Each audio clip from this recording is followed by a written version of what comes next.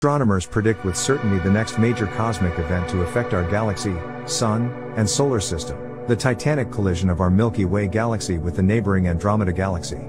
The Andromeda is now 2.5 million light years away, but it is inexorably falling toward the Milky Way under the mutual pull of gravity between the two galaxies and the invisible dark matter that surrounds them both.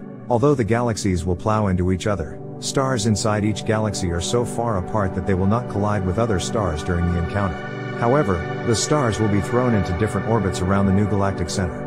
Simulations show that our solar system will probably be tossed much farther from the galactic core than it is today.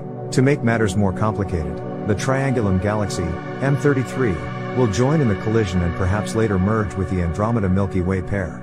There is a small chance that M33 will hit the Milky Way first. The universe is expanding and accelerating, and collisions between galaxies in close proximity to each other still happen because they are bound by the gravity of the dark matter surrounding them.